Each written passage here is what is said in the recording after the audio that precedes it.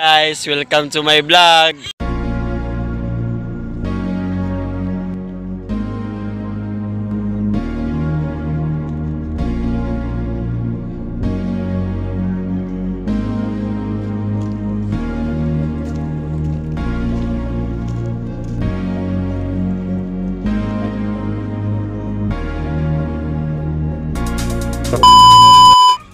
Hi guys, welcome to my vlog. Nandito po tayo sa Lintuan, Loon, Bohol.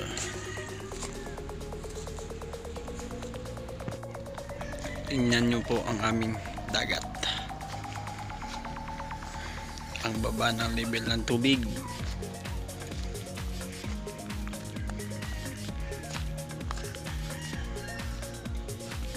Pumunta ako dito para mag para gumawa ng vlog para sa aming project.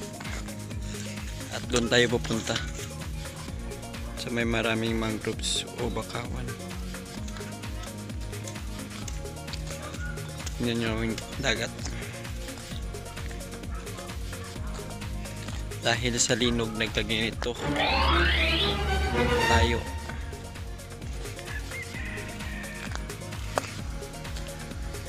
marami pa namang ma kinabangan dito.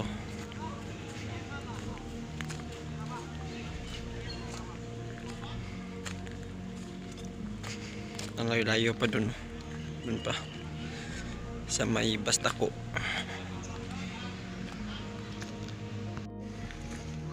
May magandang babae dito. Miss UB oh, tignan mo malapit na tayo.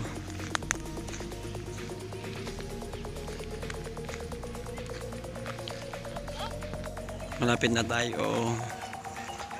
Nandito tayo sa may Cheetos Place. Kung gusto nyong maligo punta kayo rito sa Bastakbo. Ganda dito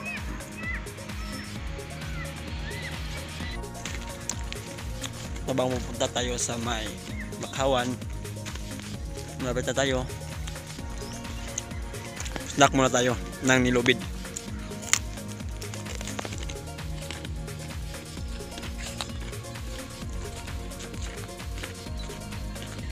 A few minutes later. oh, nandito na tayo. May aso na. Dito na tayo sa mangroves o bakawan?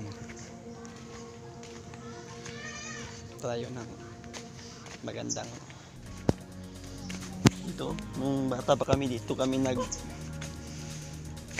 ngunguha ng nanguha og sihi. Dito na tayo.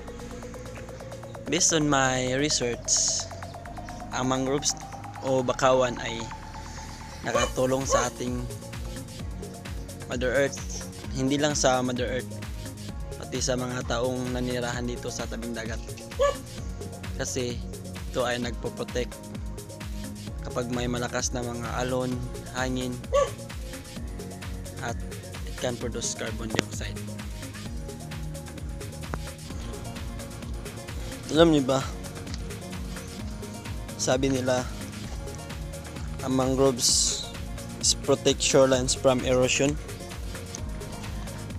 Mangroves protect shoreline from damaging storm and hurricane winds, waves, and floods. Mangrove also help prevent erosion by stabilizing sediments with their tangled root system. They maintain water quality and clarity, filtering pollutants and sediments originating from plants.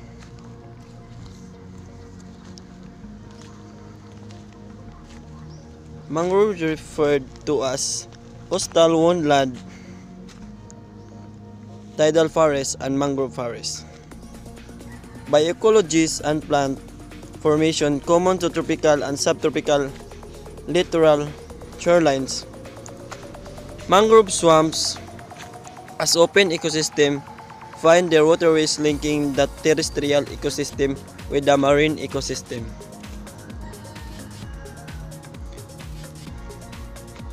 Mangrove swamps, also called mangals, are a common feature covering 60 to 75 feet of tropical and subtropical coastlines. These forests of trees and shrubs that are rooted in soft sediments occur in the intertidal zone.